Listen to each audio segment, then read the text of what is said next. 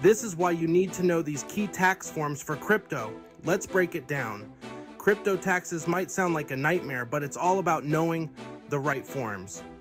First up, Form 8949. This is where you report all your crypto transactions, every buy, sell, trade, and even those tiny fractions of Bitcoin you earned. Next, you'll need Schedule D. This form summarizes your capital gains and losses from Form 8949. Simply put, it tells the IRS whether you made bank or took a hit. But wait, there's more. If you received uh, crypto as income, you'll need to fill out Schedule 1. This includes mining, staking, or any kind of payment received in crypto.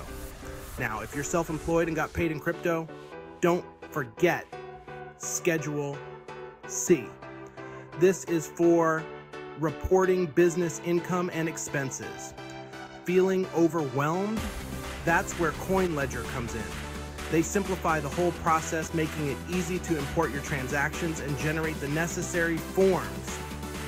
Crypto taxes don't have to be a headache. With the right forms and a little help from CoinLedger, you can stay on the right side of the IRS and keep your crypto journey stress free. Don't forget to like, subscribe, and hit the bell for more tips on navigating the world of crypto.